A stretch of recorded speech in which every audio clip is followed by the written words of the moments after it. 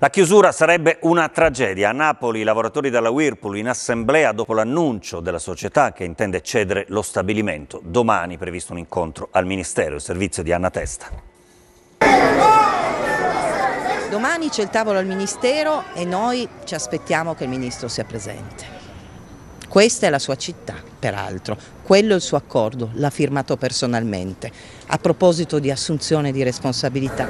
L'attesa per l'incontro di domani al Ministero per lo Sviluppo Economico è forte. Sul tavolo l'accordo siglato lo scorso 25 ottobre, accordo che oggi invece viene messo in discussione dall'azienda, la Whirlpool.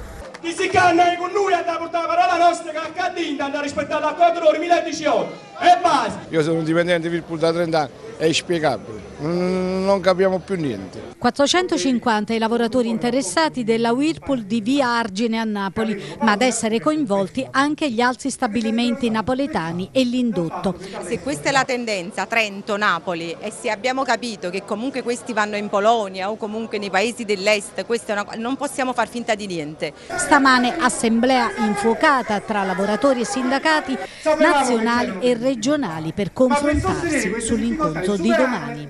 Non è possibile che a Napoli si chiuda una realtà come questa e perdiamo altri 1500 posti.